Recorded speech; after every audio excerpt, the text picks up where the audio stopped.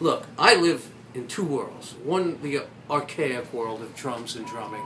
I mean, strongly embedded in it. I have one foot deeply planted in that. I love striking a membrane and hearing its report and playing real rhythm. And I have one firmly planted in the digital domain, which is which affords me sounds like being a gamelan or you know a windstorm at sea or a tectonic plate, you know, or Jupiter or the Big Bang or any universal sound I could possibly imagine. All well and good. So, how do you navigate both? And how do you entertain and give pleasure?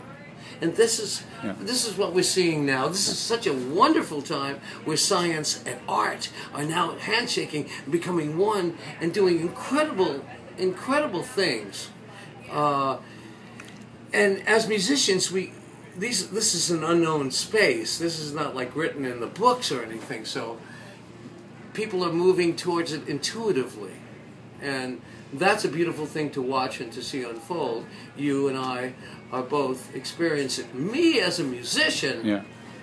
I am embedding the electronic worlds that I feel comfortable and familiar with in my music because I'm into pulsing and throbbing. You know, I mean, I love the blues. I've started with the blues. Love country. I love, you know, I love music from the the world's music. I love Islamic music. I love, you know, music from Bali and Aboriginal music. I love Arctic music. I love pygmy music. I love music. Seeing how see music has to play a role in society for it to go on. So that's the role of music. So what's happening is musicians are finding what people want to hear and how they're feeling, and they're creating a new music. But there'll always be music, but there'll only be mu- that music as long as it serves the community.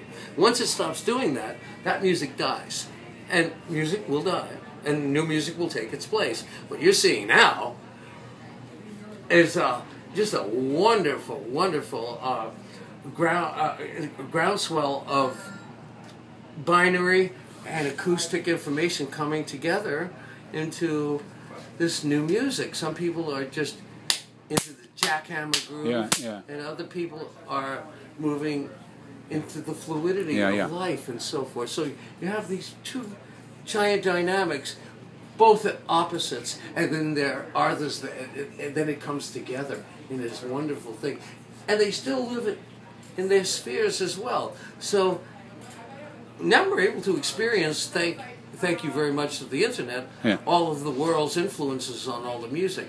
I mean, there's only one music that I know in the world that is not uh, not that is not fused, and that would be the Gyuto Tantra Choir from Tibet. But they lived 25, right. 3,000 years behind uh, monastery walls in Tibet, and they didn't have radios, and they didn't have any. So they're pure.